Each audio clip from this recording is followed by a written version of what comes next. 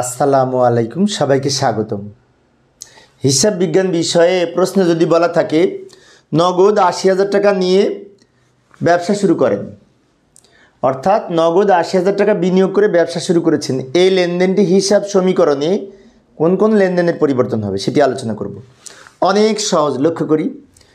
তো আমরা জানি যে এই নগদ টাকা ব্যবসায় আনয়ন করলে নগদ টাকা বৃদ্ধি পায়, অর্থাৎ সম্পদ বৃদ্ধি পাবে।